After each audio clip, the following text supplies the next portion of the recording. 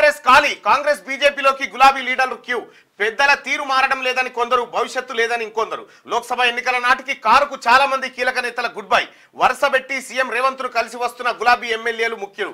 పైకి అభివృద్ధి పనులే అని చెప్తున్నా పార్టీ మారేందుకేనని టాక్. కాంగ్రెస్ కీలక నేత డీకే శివకుమార్తో మాజీ మంత్రి మల్లారెడ్డి భేటీ. అల్లుడితో కలిసి కాంగ్రెస్లో చేరేందుకు ఆయన ప్రయత్నిస్తున్నట్టు ప్రచారం. ఇప్పటికే బీజేపీలో చేరిన ఇద్దరు సిట్టింగ్ ఎంపీలు పలువురు మాజీ ఎంపీలు. కేసీఆర్ చెప్పినా ఆరూరి ఆగట్లే. బీఆర్ఎస్లో ఉంటానంటూనే బీజేపీ వైపు అడుగులేస్తా ఉన్నట. పదేళ్ళు రాష్ట్రాన్ని ఏలిన బీఆర్ఎస్కు షాకుల మీద షాకులు తగులుతున్నాయి. మొన్నటి అసెంబ్లీ ఎన్నికల్లో ఓటమి తర్వాత పార్టీ కీలక లీడర్లు పక్క పార్టీల వైపు చూస్తున్నారు. అధికారంలో ఉన్న నాళ్ళు తమను పట్టించుకోలేదని కొందరు ప్రజా తీర్పును పార్టీ పెద్దలు గౌరవించడం లేదని ఇంకొందరు.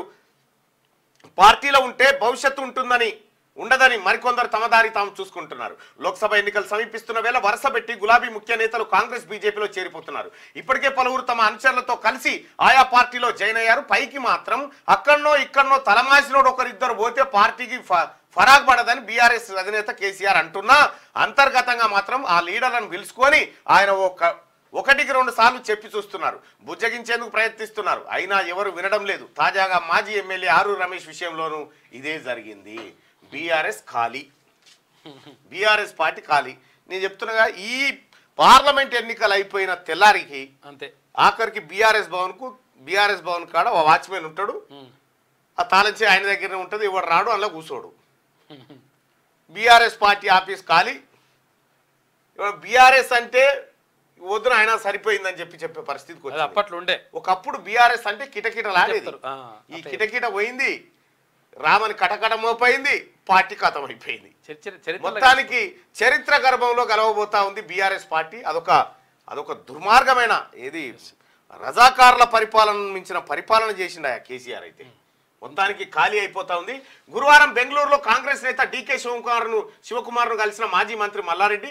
ఇటీవల ఢిల్లీలో బీజేపీలో చేరుతున్న బీజేపీ బీఆర్ఎస్ నేత శానంపూడి సైదరు. మల్లారెడ్డి గారికి ఒకసారి ఫోన్ చేసే ప్రయత్నం చేద్దాం. ఎందుకంటే ఆయన్నేమో నేను చేరేతందుకు పోలేదు అని ఆయన అంటాడు.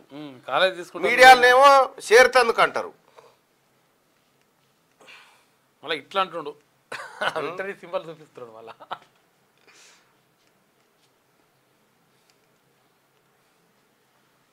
నేను యూనివర్సిటీ కొంటానికి పోతే అట్లా అంటున్నాను అంటుండు.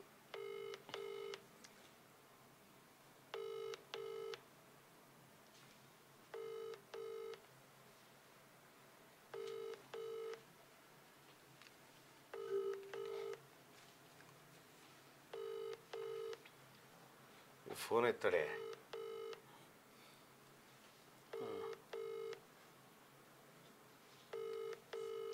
మల్లారెడ్డి గారు తాడిసెట్ కింద కూర్చొని కళ్ళు తాగినట్టుంది నీ తాగినట్టుంది నీ ముచ్చట బీఆర్ఎస్ పార్టీ ఖాళీ కాబోతా ఉంది మల్లారెడ్డి గారు డీకే శివకుమార్ ద్వారా కాంగ్రెస్ పార్టీ తీర్థం పుచ్చుకోవడానికి ప్రయత్నం చేస్తున్నట్టుగా తెలుస్తూ ఉంది అయితే ఆయన ఆయన అల్లుడు కాంగ్రెస్ పార్టీలో చేరడం ఖాయమేననేది సోషల్ మీడియాలో వస్తున్నటువంటి ఒక ప్రచారం.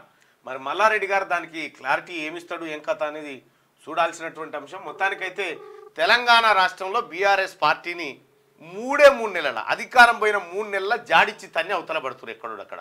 మిగిలేదిగా నాలుగే నాలుగు.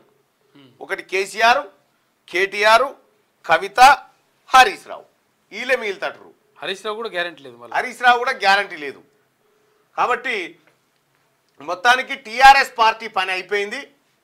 టీఆర్ఎస్ పార్టీ పనికి కనీసం ఇలా మీటింగ్ ఉందని చెప్పు చెప్తానికి కూడా ఎవడు లేడు. మంది. లేరు ఇప్పుడు అయిపోయింది.